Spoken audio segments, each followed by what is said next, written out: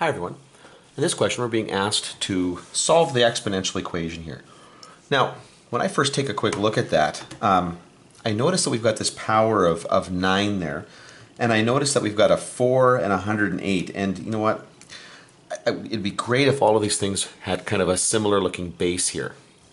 Now, on the outset, it looks to me like I might have to take the log of everything here, but before I do that, I should try to simplify this as much as I can. And I mean, I notice that, that 108 is probably also divisible by 4. And when I do that, when I divide both sides by 4, I get 9 to the x minus 1 is equal to 27.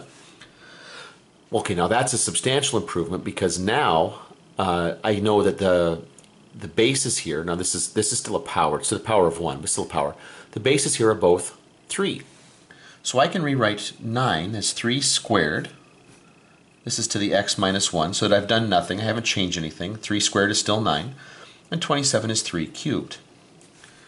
Okay, and now when I've got a power of a power, you multiply the exponents together. So this becomes 3 to the 2x. And don't forget to distribute it to all terms here. So 2x minus 2. This will be equal to 3 cubed. So now I've got uh, the, I've got two powers here. The bases are the same. And I understand that the whole powers are the same, so that means the exponents must also be the same, okay? So this allows us to write 2x minus 2 is equal to 3. Okay, that's the powers, or the exponents, I should say. Bring the 2 over, so 2x is equal to 5. So that means x is equal to 5 halves. And there we go.